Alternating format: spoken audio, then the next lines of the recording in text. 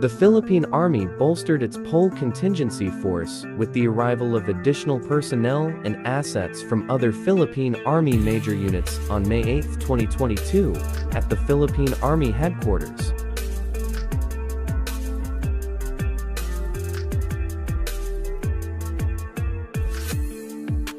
The, the Aviation Regiment's two choppers, armor Division assets which include fire support vehicles, armored personnel carriers with remote control weapon system and mounted mortar carriers, and military trucks and ambulances are on standby in Fort Bonifacio.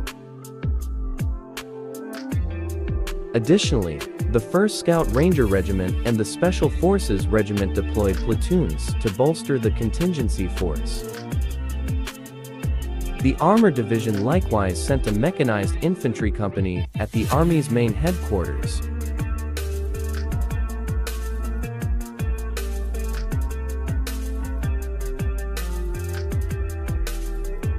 Army Commanding General Lieutenant General Romeo Brawner Jr. earlier placed the Philippine Army under red alert status to ensure that all units are complete and ready to be deployed on orders to address possible threats that may arise during the election period.